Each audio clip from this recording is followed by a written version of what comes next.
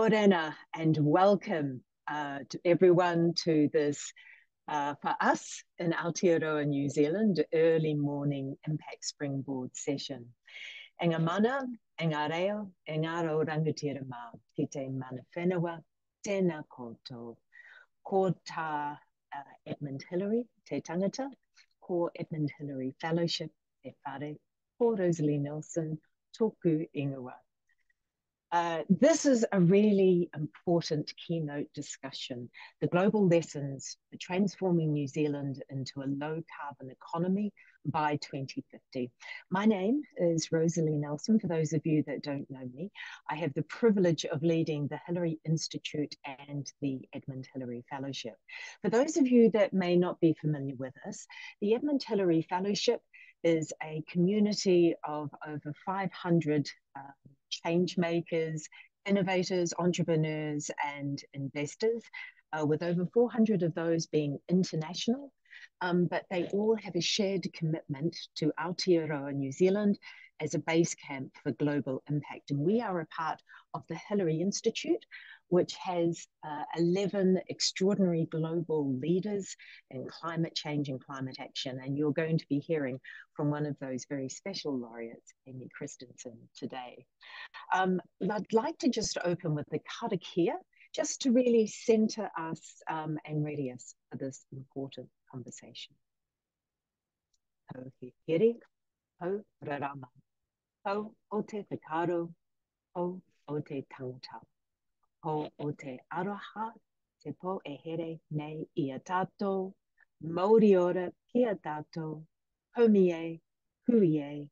ai.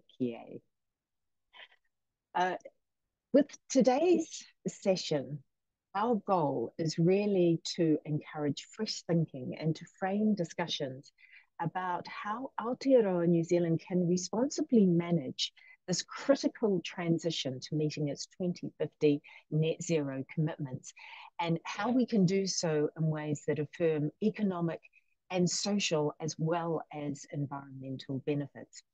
The format today is that um, we will be introducing Anna Kominik, who will be hosting the session, Aimée will get to present her initial thinking and then we will open up the floor for questions. So there are a few notes through this. Please do keep your audio off or unmuted unless you are speaking. Um, however, we do want to see your faces, so please do keep your video on. Um, if, if this is possible, because this is really about community and it helps us to be able to see each other. Um, the Zoom name, please have the Zoom name as your own personal name. It's not work or another person. Uh, and just to be clear that we are recording the session to make it available afterwards. So if you have thoughts or questions, please use the chat box and we will pick up on these um, either during or at the end of uh, Aimée's portion of presentation. Now, what we have found is that quite often people want to make comments or they want to respond to each other, and we do encourage that. However, if you do have a question, please just mark that very clear, uh, clearly with a question in capitals at the beginning of it. That just helps us to be able to sift um, through the chat that comes through. The host for our session is Anna Kominik. Now, Anna is the chair of the Hillary Institute and the Edmund Hillary Fellowship and was appointed as the chair of the Electricity Authority, Te Manahiko, in July last year. Now, prior to that role, she was the independent chair of the Electricity Retailers Association of New Zealand. Anna has worked for a wide variety of private and public sector organizations during the course of her career. And this includes as a former Asia Pacific director of Wisk, a Boeing backed company which is, was developing a world first all electric self flying air taxi. She is currently a director of Dawn Aerospace and she advises in the New Zealand aviation and aerospace sector. And look, I'm I just feel hugely privileged on a personal level to get to work with Anna as the board chair. So Anna, thank you so much for moderating this session. I'll hand over to you. Kia ora, Rosalie, and tēnā koutou katoa. I have enormous pleasure um, in introducing Aimée Christensen, um, international climate leader, strategist, innovator, Hillary laureate, and a woman um, who I have had the pleasure to get to know uh, in my role, who has enormous grace and courage. Uh, she's been a leader in developing and implementing solutions for decarbonisation and electrification with governments, business, and community around the globe. Um, she has three decades of experience in environmental law, policy, and investment. Her achievements include brokering the first ever bilateral agreement on climate change between the US and another nation, uh, Costa Rica, in 1994. She uh, helped build the sustainability platforms for, among others, the United Nations, Microsoft, Google, and Virgin, where she helped Sir Richard Branson develop the Carbon War Room. Aimée thinks big. Uh, she backs that up with action, and both lo- globally and locally. And this, uh, in my view, sets her apart from many. She is the founder of the Sun Valley Institute for Resilience and served as its executive director for five years, and is now an emerita board member and proud founder. At the Institute, Aimée took the big ideas that she is renowned for around climate solutions and implemented the systems thinking it requires on a local scale to improve the regional agricultural sector, as well as provide a huge boost to uh, local clean energy ecosystems. She was also at COP28 and I know has many insights from the negotiations and her work there on catalytic climate to finance and place based resilience strategies. Aimée, thank you for being here. I know you have a cold. I know it is a different time zone, and I'm just so grateful for your time. You're a very, very generous human, and we love you very dearly. Looking forward to hearing what you have to say.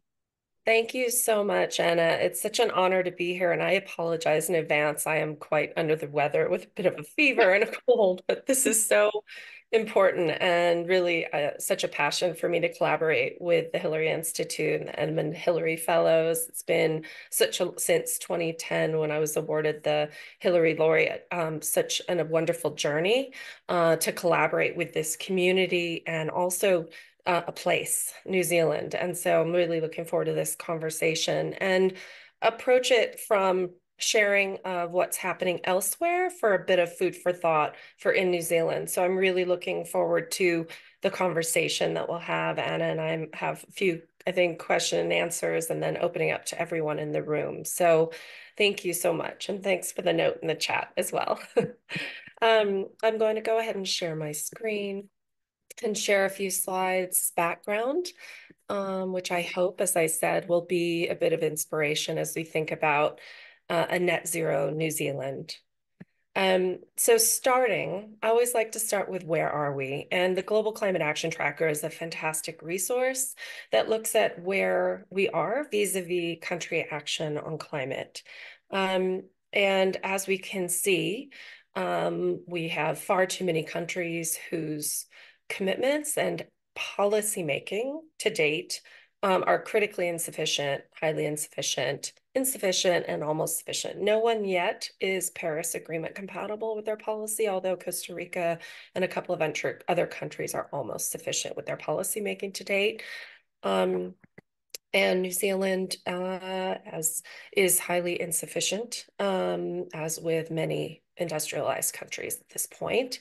Um, and if you look at on the right side of the screen, as we think about our fair share, um, so again, um, insufficient um, given the historical contributions that New Zealand has made. So those of us in the United States and New Zealand who are in the state of not yet being quite on track to where we need to be, whether it's to meet the Paris goals or to meet really based on that fair share contribution over the years, um, it's urgent for all of us to get our policies aligned and to shift the close to $7 trillion in, policy, in subsidies each year that go to fossil fuels away from that to the transition across energy and across agriculture and food systems to get us all on track.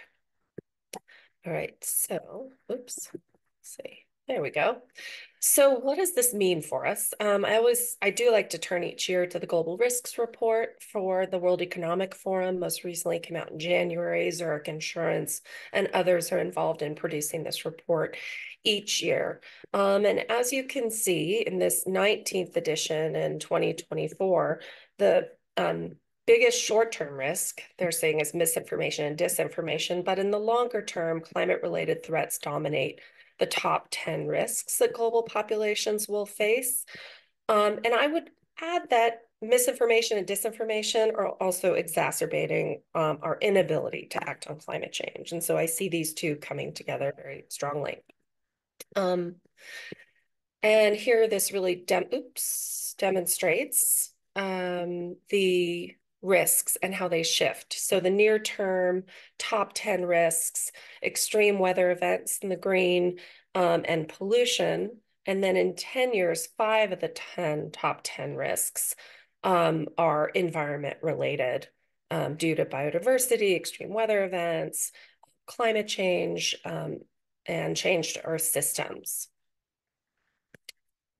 Then um, I think this quote is applicable. This was from the WEF report several years ago that just understanding that our economies, our fate as species are deeply connected with our natural environment, as many of us on this call know well, um, and that protecting and restoring natural systems is also crucial to, crucial to combating climate change. So thinking about net zero goals in the context of restoring our natural systems, both for the benefits they bring to our economies, but also nature is often the best investment when it comes to resilience um, and climate adaptation.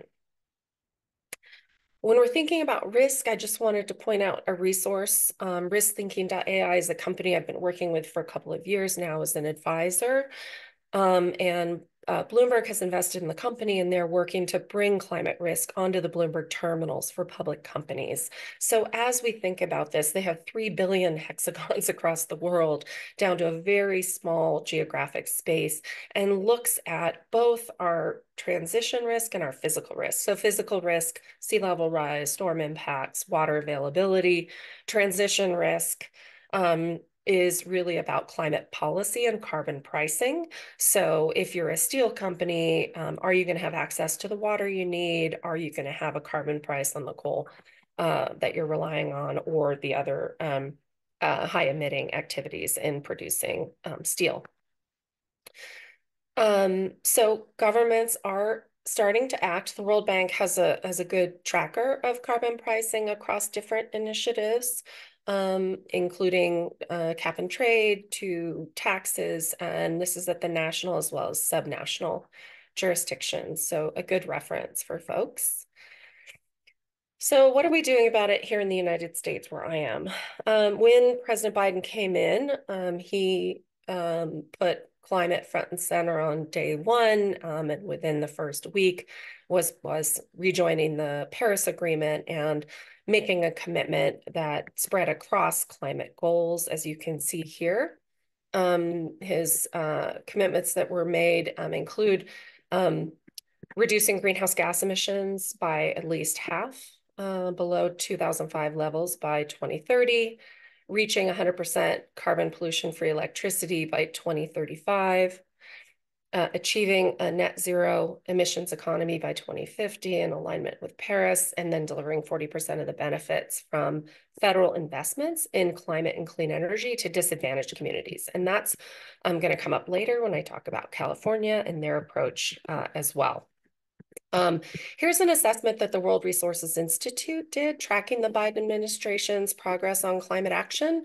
Um, so really recommend this. Won't spend time reading through all of this, but from what has been achieved in the first three years of the administration and where there's been significant progress, some progress, and off track. Clearly, the United States has yet to tax pollution, has yet to put a price on carbon.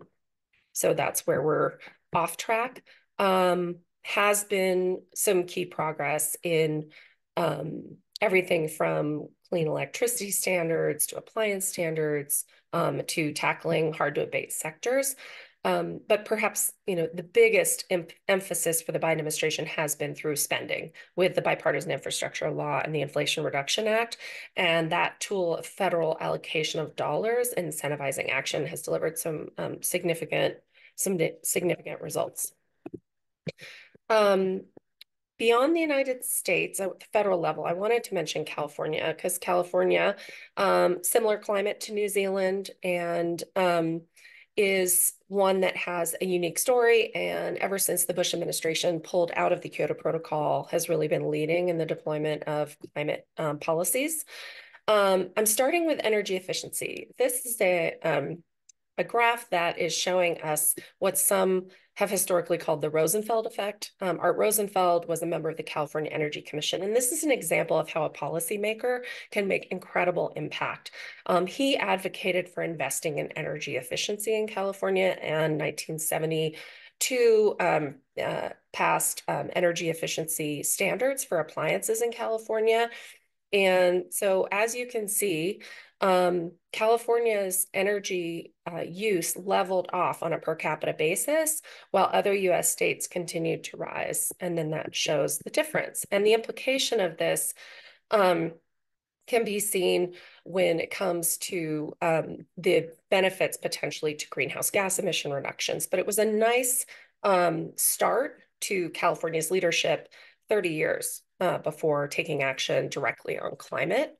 Um, this is a um, study of the levelized cost of energy um, globally, and it's by Lazard, um, an investment banking research firm, um, and shows that how energy efficiency can be the smartest, the first investment. Um, I had a, a client I worked with, who I loved working with, the CEO of Duke Energy, one of the biggest polluters in the United States, and he just he called energy efficiency the fifth fuel, but actually it should be the first fuel. Um, so just, I think it's often forgotten as a fuel and especially in the built environment, depending country by country, but definitely an opportunity in the built environment and in appliances to make dramatic improvements just by setting better standards. So as new appliances are constructed um, and new buildings are constructed, um, that can be tackled.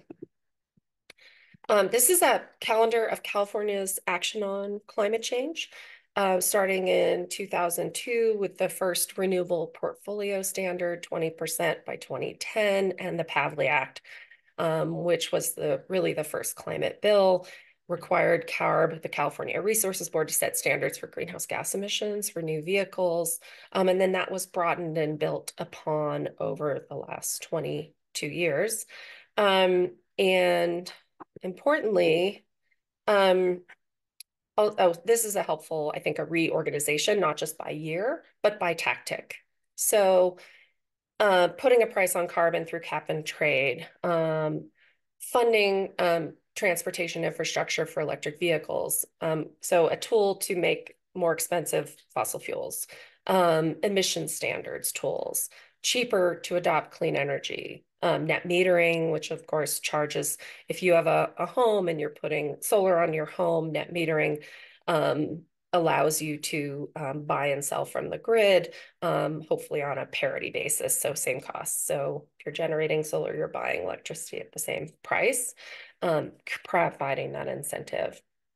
Um, banning fossil fuels, um, and increases in efficiency have continued, especially with a focus on um, low income communities, uh, because California's um, regulatory approaches have been incredibly effective in um, decarbonization um, and increased energy efficiency, but the prices have not um, been um, have not followed suit as they should have, given the investment energy efficiency. And a lot of that is about um, inefficiency of policy deployment. So as New Zealand is working on developing its global warming policies, learning from mistakes and strategies that optimize efficiency by thinking holistically about global warming policies and understanding how to put those in place in a way that doesn't lead to price increases and investing, especially in low income communities. Um, this is the result from California's investments, as I mentioned, um, as far as it's been an impact um, from an impact on greenhouse gas reductions uh, per capita and per unit of GDP. California's economy has continued to grow, um, but decoupled from emissions. Um, so I mentioned equity there are um, a handful of efforts that have been taken subsequent to the early climate legislation in California. uh, to ensure that extra attention was taken to bringing these clean energy benefits to low-income communities. So I wanted to mention those. Um, the low-income weatherization program that California focuses provides no-cost rooftop solar and energy efficiency to low-income households. Um, and then a focus on ensuring that the proceeds from the California cap and trade bill go to those low-income communities, disadvantaged communities, um, uh, and those most vulnerable. And then the, the federal government, as I mentioned before, has um, the requirement of 40% of the overall benefits of the federal investments across the board um, benefit marginalized, underserved, overburdened by pollution communities, disadvantaged communities.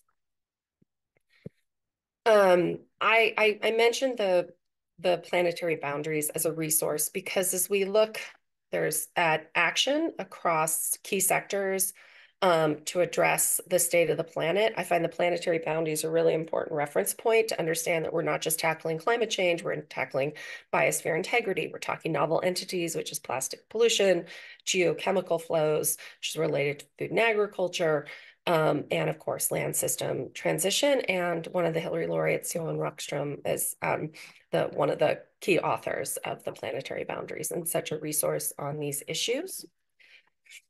And what it told us is in addition to transforming energy in our electricity system, we have to transform our food system. And of course, for New Zealand, um, the food system is at least 40% of greenhouse gas emissions. And so it's a critical uh, focus for action. And our global system has to change as well. Um, and you know, food and agriculture is the source globally of a majority of methane emissions and um, somewhere around a third of global greenhouse gas emissions. And so the um, EAT Lancet uh, Commission on Food Systems and Climate and uh, Food Systems and the Planet, um, it uh, called for five different actions around transforming food and agriculture for nature and humans to thrive, um, from diets to um, agricultural priorities of funding from high quantities of food to, to healthy quality food, um, intensifying food production for high quality output, coordinated governance of land and oceans, and having food losses and waste as food waste, a massive source of greenhouse gas emissions. Um, and farms have huge potential to be solutions for biodiversity and for greenhouse gas emissions, as we know from soil health and um, and uh, agroforestry, agroecology practices. So I talk about um, transforming a food system to be decentralized, decarbonized, and regenerative. And also I would add diversified. Decentralized can imply diversification, but I should really call that out. Um, so decentralized growing for place, localizing processing, localizing energy use for food systems, regenerative. People always ask, what is that? Um, there's a lot of banding about of the term regenerative, and there are three different standards under development and use now. Um, generally, uh, a definition I've turned to is that um, farming and grazing practices that um, uh, reverse climate change by rebuilding soil organic matter and restoring degraded soil biodiversity, resulting in both carbon drawdown and improving the water cycle. And these are some of the specific activities and practices that farmers are integrating in shifting to regenerative agriculture principles, things like cover crops and no-till farming to leave the soil intact, um, and integrating animals into farm practices as well, into the soil. Um, so uh, decarbonized, uh, localizing our food system obviously reduces greenhouse gas emissions from transportation, um, renewable electricity on site, solar thermal and geothermal for high heat use needs, for pasteurization of, of dairy, for instance, or for drying, if you're in the case of New Zealand, doing milk powder, um, and then electrified transportation, and of course, addressing methane. Um, and so on methane, um, there is methane capture um, and of reducing um, animal uh, based consumption and rethinking proteins. And I would also add um, that some in the agriculture sector in New Zealand have been talking about replanting of pine forests, monoculture pine forests, and just wanted to note there's been some good analysis about pine forests are not a replacement for reducing greenhouse uh, methane emissions. So a methane emission is not the same as a sequestration of carbon. Um, so just thinking about how we're addressing these and an apple to apple strategy. Um, given that protein's so critical, um, working to make it regenerative, um, thinking about what we're sourcing from the ocean, turning to cultivated meats, precision fermentation, and more plant-based proteins. In transforming ocean foods, huge opportunity for providing food. Um, we're seeing in coastal communities that the big ocean trawlers, um, largely from China, um, are extracting um, massive amounts of um, fish and other sea life so that coastal communities no longer have access to their food source that they've had. Um, and more than 3 billion people rely on sea-based ocean foods. Also, we can create jobs by transforming ocean foods to be more responsible, such as farming seaweed, farming bivalves, other smarter solutions rather than the wild extraction um, that is so um, harmful today. And um, it can really provide abundance. Um, so when you're growing seaweed, you're also helping to deacidify the ocean and providing ecosystems. And so there are so many co-benefits that come from transforming ocean foods. Um, I'm an advisor at Aleph Farms, which is a cultivated steak company out of Israel, and they are making a steak in a lab. And it's, um, you know, these the things about the cultivated meats is that they are slaughter free. Um, in the case of Aleph Farms, they're non GMO, they use plant based inputs, they can be grown anywhere, even in space. They've been doing um, with the Israel Space Agency and NASA. Um, and um, they have a commitment to being net zero uh, for scopes one and two by 2025 and scope three by 2030.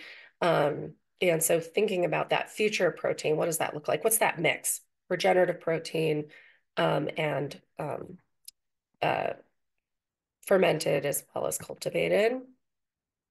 So the U.S. Um, just tap back to what's happening there with government resources and government allocation of funds to drive that building of a resilient food future in the United States. The Inflation Reduction Act had $40 billion for food and agriculture.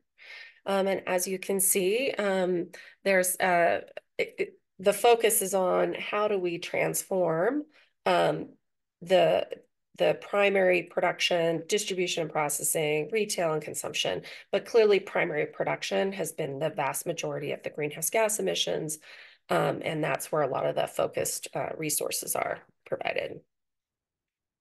Um, just to be more specific about that farmer focused funding, um, there was um, $6 billion allocated for underserved farmers the United States. Um, African American farmers were historically dispossessed of their land and not provided access to the same capital as white farmers. That was $6 billion, really a, a reparation of sorts, although some people um, cringe at that term. Um, but I think we need to talk about um, inequity and historical inequity. And then conservation stewardship program, funding to support and incentivize farmers to do those regenerative and conservation-based practices, and a whole climate smart commodities program, grants going to groups of farmers and companies who are working to do regenerative potatoes to uh, regenerative oats across all the all, all the across the commodities um, in the U.S. Um, and then um, I just want to mention at a local basis, the Rockefeller Foundation has a fantastic resources of their Food System Vision Prize. There were um, communities all around the world, 1,300 around the world submitted their visions for their food system in their community. And it was up to a space of 100 square miles. And those are fantastic visions and versions of the future of food. Um, we did one here in Idaho, where I am. I'm in central Idaho. We're the third largest dairy state in the country. Um, number one for potatoes and peas and sugar beets and a few others. Um, but in our community, we were doing cattle, alfalfa, and barley, and it was taking all of our water and sending it out of our area and our food, exporting our water, including a lot of our hay and alfalfa, set to feed Chinese dairy cows. Not good for our community. So we founded a, an institute to focus on resilience and launched a revolving loan fund to fund our local farmers to change their farm practices at the local level. So this is something that communities can consider doing, accessing resources. Um, and, um, and so these are a few of our portfolio companies from a micro dairy to a cornmeal um, uh, milling operation to um, uh, farmer that wanted to switch from alfalfa to local market veggies to a meat processing facility and mushrooms. And um, the Institute's work um, is around building more resilient system, which meant localizing our energy system, localizing our food system. And that's their primary tool we've taken to localize our food system. And we've worked collaboratively with our county government officials on the energy strategy for its decarbonization. And just to give you a sense of what some local communities are doing, this is what our local community has done, setting the goals, um, putting in a requirement of 75% clean electricity by 2025 for the city's operations, county's operations, and then um, moving beyond that to um, residents and businesses. Um, and it just tracks what each policy will drive as far as greenhouse gas reductions. And so thinking about New Zealand's, um, just digging in the food because food is such a significant source of emissions there and a priority there um, assessing what are the risks to the food system. And I want to note that the milk protein that's, sorry, the milk powder that's exported uh, largely to China, you know, it's a relatively unprocessed, low value product commodity that's sold out of New Zealand from the dairy industry. And a lot of the companies who are buying milk powder have made greenhouse gas emission reduction targets. And so when they're thinking about where they're getting their milk from and is it regenerative, low carbon, et cetera, a lot of that decision making by the biggest food companies will trickle down to the source of the milk. So thinking about those risks, also weather related risks, floods, others, and then what are the assets that New Zealand has for its food future and investing in innovation and definitely government leadership to shift money from the activities that don't serve climate action and resilience to activities that do. And I really do believe New Zealand could be this incredible global test bed for global food and farm solutions. Really uh, exciting potential there, but needs a collaboration among all the parties. All right, I will, I know I'm a little over, so I will just, um, I want to just mention that, um, you know, I, a little, so thinking about government action, aligning with private sector action, I wanted to just share um, note that I was in government, so working on these policies for four years to get them aligned. To to um, I was working in Latin America to work with them to get the right policies in frame in place as they opened up their energy sector to private investment. Um, and then I went to the private sector and was at Google, and it was really how can business solve, how can Google solve climate change? So we vote, so we lobbied for that California global warming bill in 2006. We um, in our operations, we made a commitment to carbon neutrality in 2007. We sourced renewables for our data centers, which were being built all over the world fast with no consideration to the greenhouse gas emissions of those until we made the commitment to carbon neutrality and made a priority to source renewables for those data centers and then prioritize green buildings for efficiency and health of employees. And we also did this really cool project because we were google.org, the philanthropic arm of the company, wanted to show the world the future of the electrification of transportation. And I know you know, New Zealand um, has a real opportunity to electrify everything, which is kind of the mantra of many of us these days. Get off of natural gas, get off of um, transportation, liquid fossil fuels um, to electrify our systems. And we did a project showing the world the, the future of the electrification of transportation, made plug-in hybrids, showed them plugged into the solar panels, and the future of that vehicle to grid more efficient interface of our energy system, which I'm excited to see real progress on that since. Okay. Um, and finally, I'll just wrap up that um, my um, sometimes having worked on climate for 30 years, I get pretty sad about the state of the planet. And then I get really excited by my clients. Um, and I was, so I had them on the page. So the people I work with who are innovating give me that hope. But often I just go to nature and spend a lot of time in nature. And so um, as we think about the steps that each of us are taking, um, I think it's recognized that we're operating in a capitalist structure that incentivizes short-term financial returns. And sometimes it's hard. it's hard to be fighting and working for the planet in a construct that's about short-term financial returns. So um, I turn to um, nature for healing and inspiration and the community of people I get to work with every day, including this one, to provide that. And just to remember that um, it can be hard, especially for younger um, people I work with who are seeing their future and to be there as a resource and an ally and a colleague to help support um, in this work because, and that's, I think, um, such an important role of what the Hillary Fellowship can provide as well. All right, I'll end there. Thank you. Thank you so much, Aimée. That um, is huge. Uh, just some wonderful content here to, to walk, work through and we do have some questions. I am really interested in uh, you you have taken these big ideas and applied them at a local level. How do you manage the the stakeholders? In particular and this is picking up a little bit on uh, one of the questions from uh, one of our fellows david bent. You know how do you manage for example the incumbent uh, foods producers um, who tend to have a well can tend to have a perspective on how that future should play out how, how have you managed that and what are your observations um, it's not smooth, uh, first of all, so I won't say I've found a silver bullet. Um, but with the work that, um, so a couple things here in Idaho, I've talked directly to some of those incumbents who are the mm-hmm. beef and dairy producers about the future of agriculture. And the key is from is twofold. One, excitement around being part of the innovation of the future. They know the system is evolving and they want to have a piece of that. And so we've seen companies like Cargill invest in Aleph Farms, for instance, in both the Series A and Series B. And Cargill's the biggest meat processor in the world. And so they're investing in a piece of the future of protein. Um, mm-hmm. I'm not going to overstate it. Certainly, their broad majority of their operations are um, still um, in the incumbent activities. But getting a piece of the upside and working with them and their venture arms to get them invested in and seeing the opportunities from getting a piece of the upside reduces that threat. And I talk about some of these incumbents going through a transition from their old mm-hmm. economy, the new one, and just increasing that over time and having the government incentives to accelerate that has to show that it's in the pursuit of their bottom line.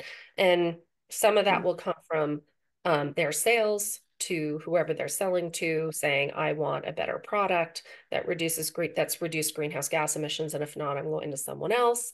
Um, some of that comes from activists shareholders um, some of their asset owners. I'm seeing increasingly family offices foundations and institutional investors um, calling on those and voting for their shareholder resolutions and using that lever. So, so it is silver buckshot is sort of a term that's used um, from a hunting yes. term right? Not a silver bullet, but multiple tools. Yeah. Um, that being said, Florida state legislature just passed. I'm sorry, it's not it's a long answer. Um, Florida state legislature just passed was um sorry proposing a new law banning cultivated meat in Florida because some of the ranchers there didn't want that threat to the cattle there. So we have to yeah. show them how they're part of it, how it's in their interest. So it's as I said, it's not smooth at all. Um, but we have to put the pressure across multiple multiple places and create the new economic opportunity as fast as possible. And in your experience, that does start to build that momentum. Even small actions, those small actions start to to build momentum. Is that right? Yes, and I would see the um, also larger action by, say, a General Mills, a Danone, others who are working with their suppliers and actually helping to fund them to make that regenerative transition. Um, and there's um, uh, a couple of different investment funds, sustainable land management, um, replant, others who have been putting together the capital to fund the transition for those farmers but we need the off takes from the big ag to say, I will do sign a longer term off take for your regeneratively grown oats than I would for the non regenerative, or maybe a slight price point increase, but a long term off take can often be enough, even without a price increase, just to give them to know that it's worth investing in that transition to regenerative. So there are a lot of different tools that have to be used. Yeah, and uh, it's interesting because you have worked across a number of different sectors, and those we keep coming back to transitions and the discussions that we have. You know, we are in transition in a number of different areas uh, at the moment. There's a lot of disruption come, coming and happening, both from a climate change perspective, but also technology and our ability to uh, find alternative ways to feed ourselves. So, in in managing that transition have you i mean i know that you and the laureates have discussions about uh, you know together as well. Uh, do you talk about kind of that transition? How do we manage it? How do we get people to move through the change effectively without feeling that i mean you've talked about about the buckshot but how do we get people through a transition effectively so that they're actually on board rather than just uh, being dragged along or doing the roller coaster, which is what I think a lot of people feel like they're on at the moment. So place directly feeling it play in place. And so I think the work yeah. on a local and regional level is so important, not just the talking and the money spending at the national. How does that transfer down? And what's interesting is to look at, I should try to find the slide, but to look at, I have another slide about Georgia, the state of Georgia um, you know, per, red to purple state, as we say in the US politically. Um, and they have received billions of dollars of money from the Inflation Reduction Act for solar manufacturing and solar project installations. Next door, Alabama, I happen to be um, starting a project with Coastal Alabama right now they have yet to tap into those resources. So, showing the benefit of this um, clean energy economy, not just because there's a lot of federal resources there, but also seeing the result of the private investment coming in alongside and the job creation and the the price reductions, the more choice that they're having in Georgia is aligned with their values of a more independent, um, independent and individual choice. And so I think showing that these shifts deliver whatever's important locally, regionally to culture, like in Idaho, independence, freedom, um, and in other places it may be other values and other needs. But um, that's where these smaller investments we're making with the local farmers of showing a 12 acre alfalfa farm switch to um, local market veggies and make more money with fewer inputs, higher water quality, um, et cetera, you know, just showing more money, more predictable marketplace because you're not a commodity seller. There's just that direct farmer to farmer, that direct conversation on a local level, that local bespoke design and implementation of these things. I just think people, unless you see it for yourself, especially with misinformation, it's it's hard. And how do you uh, build the bridge between the policy and the implementation. So, I mean, I've taken this from a regulator perspective. You know, how do you create that ability for, for, for it to happen at a local level when you're a policy maker or a policy decision maker? Yeah. Um, well, you can do two things. You can regulate and you can spend. And so um, the um, so in our community, there's a land and water fund that has put money into the Impact Idaho Fund because it mm-hmm. sees the benefits of changing agricultural practices and what's being grown to the land and water quality that the fund is focused on supporting. And then they're changing regulations, which used to not allow things like a flour mill, which was helping to localize. There's a barley grower who's growing organic barley, and they were just selling to Anheuser-Busch InBev, and now they can, they're actually making this really high value, high quality, high, relatively high price um, flour, you know, higher priced flour that's um, really prized in locally, regionally, now all over California. And so before you couldn't have a mill on your land because it was farmland. So providing those changes to permits and the regulations. Yeah, and you've talked a little bit and written about the benefits of developing sector-based benchmarks. Um, you know, can you tell us a little bit more about that um, that work and how that's what have the results been? Say that again.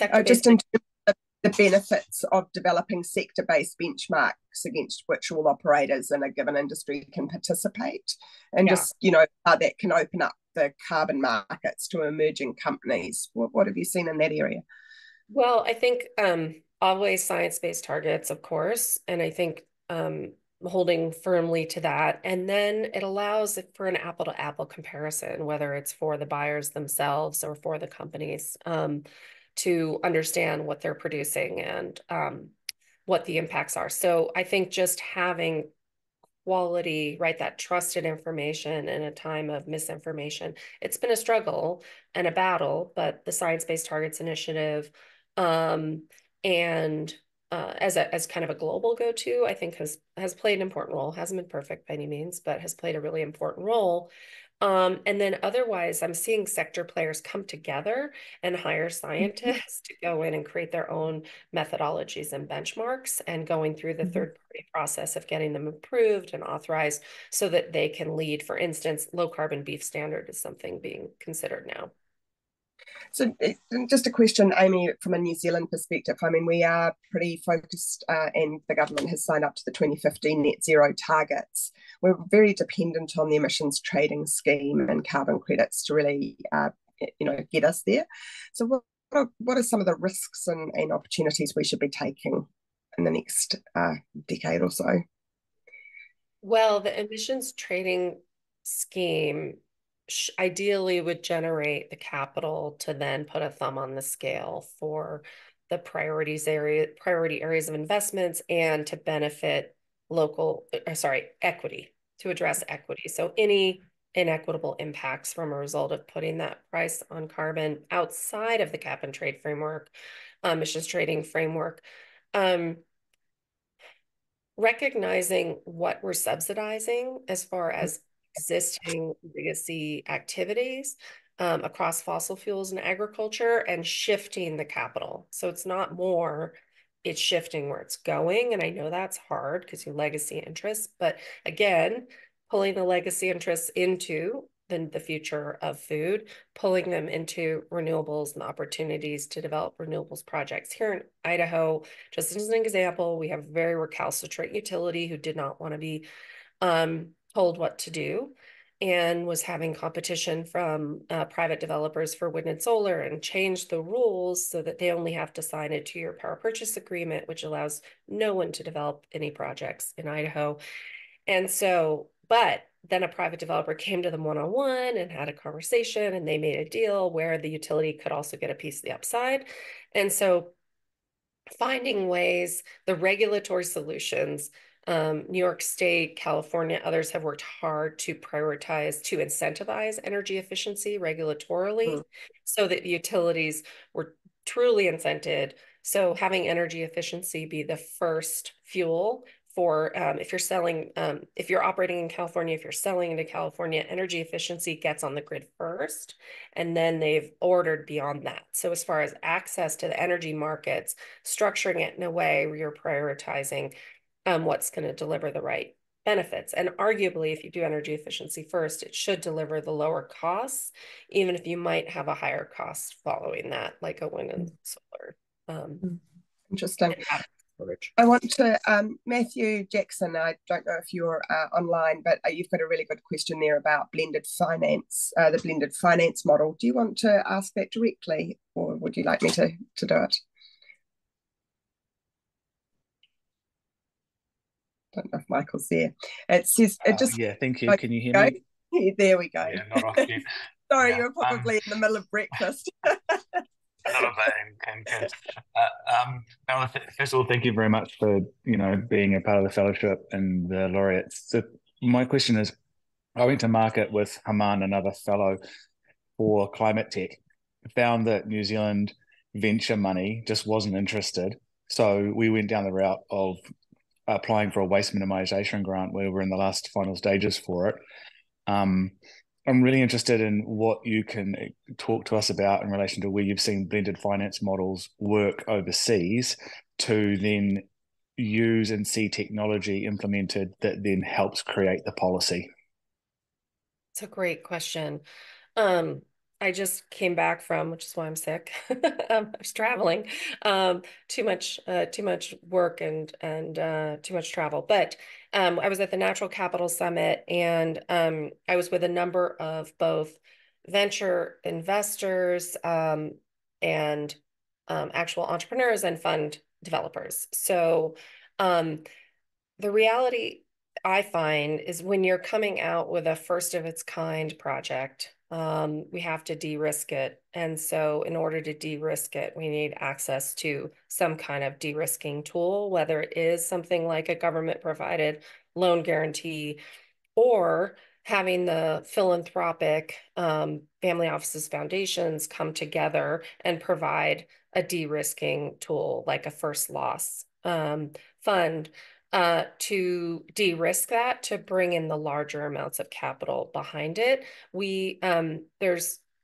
um, a number of members of a global network called the um, Confluence Philanthropy and has a meeting next week in Denver. And a lot of these family offices and foundations are working, for instance, with the apparel sector to how do we get rid of the coal boilers, which are the high heat, hot water for the dyeing process um, in the key countries, India, Sri Lanka, Bangladesh, Indonesia, etc., um, and shift to electric boilers and renewably generated electricity.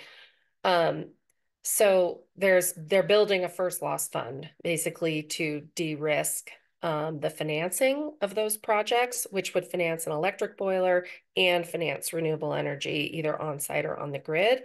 And so they're actually building a new tool to do that. Um, the third thing that's needed in that, besides a willing supplier and the de-risking, well, and I should say, and the institutional capital finance it, the other piece is we need the fashion companies to be willing to sign a longer term purchase agreement for clothing that is done decarbonized. So being able to step up with more of a commitment. So it's really, I'm not going to say it's easy because it feels like so many pieces need to come together. Um, but blended finance has been used over the years successfully through carbon markets. I was a carbon lawyer at the World Bank in 2005 and that emissions trading. So we would sign a long-term agreement to pay for the annual emission reductions from those projects. That was contractual and they would a mezzanine lender would come in and provide upfront money against our contract to pay for those emission reductions and that was a successful blended finance approach in order to fund the putting in place of the new technology with that money that was lent against our contract to offtake the carbon. So that's a concrete example in place. The other one is one that's in development. Um, and just to note that um, and talking to some of these um, funds working in emerging markets, especially um, having access to grants from philanthropies uh, has been critical to help them do the work to get projects ready for investment to de-risk them up to the next stage. So even just straight philanthropic resources um, has uh, to de-risk to just get them to a further level uh, to be investment, more investment ready. But you still have things like political risk and currency risk. And so sometimes having that additional de-risking, like a first loss um, or a loan guarantee, is still really vital. And we need much more money from corporate finance, from um, philanthropy, from family offices, um, to do that kind of de-risking because it leverages all this institutional money behind it once you de-risk those projects. We just there's too little money. Even if a if you have a big endowment, you know, 10% go into de-risking and um and they're rarely, rarely, rarely turned to, if ever. They're just there. It's more of a perception of risk I've seen mostly than actual concern about either technology or political or currency risk. Thanks, Aimée. Um, I Yeah, think, thank you. sorry, do you have any further comments on that, Michael? Uh, Matthew. Um, yeah, it Oh, was. sorry, Matthew, sorry. No, we're on track. I, just, I guess my my reflection is, I if I'd asked that question a year ago, it would have saved some time. Uh, we are looking at the family offices, and um, that's kind of where we've got to. We've started that process now. So thanks very much for that right. insight and the examples we're talking about. them. um, I'll, I'll look into them a bit further because I'm just about to start proposing them to um, Fonterra and BlueScope Steel. Yeah, absolutely. Where is that corporate? I don't know if you saw the study by um I'm going to forget the name of it. I'll try to find it, put it in the chat or send it afterward. But there was a study about corporate dollars and where it's sleeping in its banks and the fact that the corporate dollars that are sitting in banks are far greater emissions that they're funding through their investments by those banks than their corporate operations. And so going to a Fonterra, going to others and saying, you know, where is your money sleeping? A, B, how about dropping 10% into here or whatever the number is to do de-risking to deliver clear environmental benefits from your projects. Thanks so much. Thank you, Matthew. And um, thank you so much, Aimée. Just one very quick last question uh, because I am mindful of time and, and people um, will be moving on at nine o'clock our time. Just uh, opportunities or trends that you're seeing in US based philanthropy support uh, for, you know, and how that could translate to Aotearoa New Zealand's transition to a low carbon economy. Thanks, Brad, for that question. Um, a couple things. One, I just wanted to endorse David's mention of the Volts podcast, and Yeah. I absolutely agreed. I mean, Yeah. Inflation Act far more attractive than cap and trade. um, and so when you're spending money, everyone's pretty excited. They can get a little piece of it. Um, so a strategy for action, you know, as I said, shift the money from the bad to the good and not, I mean, yes, this was additional funds, but um, it doesn't necessarily have to be depending upon where governments are spending money. Um, so trends um, in philanthropy, corporate, I would say corporate philanthropy, um, are doing more in this space than historically, and um, corporate capital as well um, are doing more in um, driving impact uh, with their philanthropic dollars. It used to be more like, um, I don't know, it felt a little bit sort of um, I don't know how to say it, but light and a little bit um, the the work by corporate philanthropy wasn't particularly strategic about doing systems change work, and I'm seeing that more family offices, foundations, and corporate um, philanthropy are really looking at how to be strategic. Um, I'm uh, currently working with the MasterCard Center for Inclusive Growth, and they have historically done a lot of work around development and small business. And now they're bringing a climate lens to that. And what are the risks and opportunities for small business vis a vis climate change? And so bringing climate into existing priorities by a company, by a philanthropy, and understanding what its implications are and what that um, how to blend those two. Also, equity, justice. Um, justice first investing, um, uh, investing in um, and uplifting and centering Indigenous knowledge if we're working on nature-based solutions, um, which of course New Zealand um, already does yeah. that. Thank you. Um, so yeah, yeah, sorry, we're hitting time. No, that's perfect. No, thank you, Aimée. And look, thank you for your generosity and, and your time. I know that, um, you know, you're incredibly busy. And it's just, I guess, from our perspective, fantastic to have a, an international, um, you know, connection to be able to actually understand what's happening overseas, what some of those learnings are. We do have uh, an extraordinary community with our laureates and our fellowship uh, to draw on and um, encourage participants to reach out to uh, EHF and Rosalie and the team uh, to really um, access this community who do have such a rich uh, resource of, of knowledge and skill. Um, Aimée, thank you. Um, I hope you're better soon. I'm going to pass over to Rosalie and thank you all of the participants uh, in today's session. Oh, thank you, Anna, for moderating that session and, and Aimée, so much insight, wisdom, and very practical uh, guidance and recommendations that we can take on board. I think there's a lot to assimilate. So thank you. Um, look, just before we go, we realize that we're just coming up to the hour. Questions, just one very quick question, and we would love you to enter this into chat. What's the one key takeaway or insight that you are taking from this session. Um, just a reminder for you all, um, we're having one of our last of the public sessions that we're holding. Um, that's going to be at midday today, catalyzing communitarian responses to combat world crises. Um, so we'll be providing the link to the fellow only sessions and also to the public sessions um, in chat. And just a reminder that this session will be recorded. So we will encourage you to go back, look at it, and also to share it with, um, uh, with anyone else that you think may be interested. And it would also be good to go back and look at some of the other sessions we've held about uh, helping New Zealand innovators to go global and transformative ventures. So there's been a lot of rich content this week. Um, just before we go, I will do just a closing karakia, just to close off the space. Kia ora te marino, kia whakapapa pounamu te moana. Hei huahi, mā tātou, e te rangi nei, aroha atu, aroha mai. Tātou, ia tātou katoa. Thank you all so much, and thank you for uh, sharing your thoughts in chat just as you come up.